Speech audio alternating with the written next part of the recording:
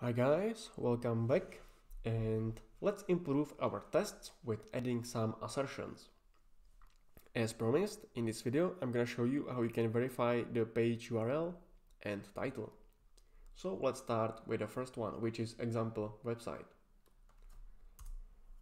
Basically, uh, WebdriverIO gives us an expect function which takes an argument and you can call some of the assertions on it so let me give you an example what I mean.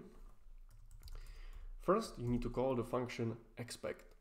And in our case, we want to verify the URL in the browser. So again, we need to pass it the browser context.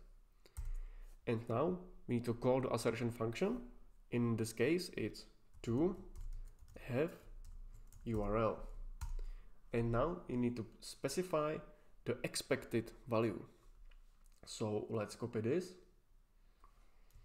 and let's paste it here.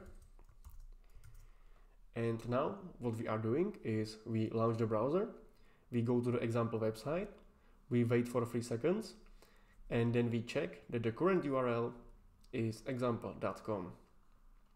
And I'm gonna comment out this test for now. And let's just work with the first one for now. So let's now open the terminal and run the test.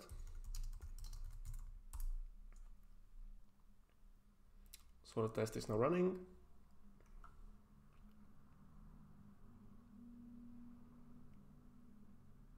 And now it's executing the assertion. And as you can see, it's taking a little bit more time, which means we have an error.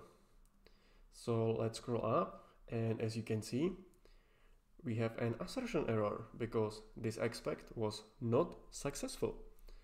And as you can see, WebdriverIO gives us a very nice error messages.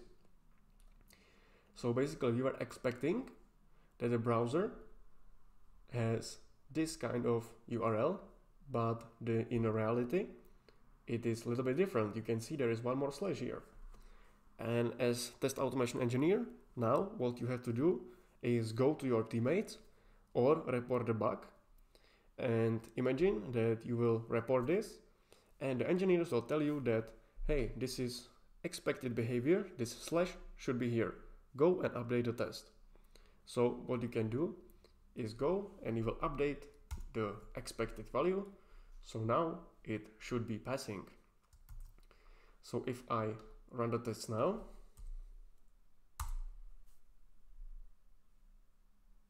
again, it will open the browser and as you can see, the tests are now passing because we are now expecting for the correct value. And this is pretty much it. If you want to verify any URL address, all you have to do is expect browser, call to have URL function and pass it the expected value. And to have URL is coming from WebdriverIO expect function.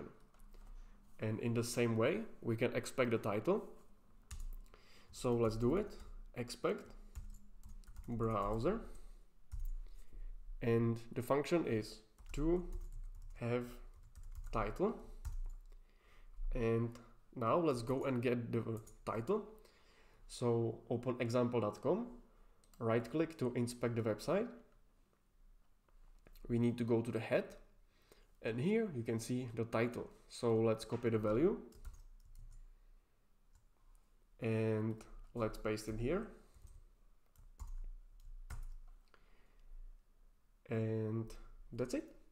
Now if we run the test it will load the website wait for three seconds and then it will check if the url contains this value.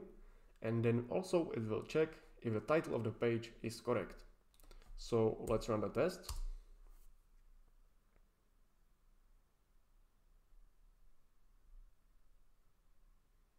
And as you can see, our tests are still passing, which is fine. So again, in this video, you have learned two assertions.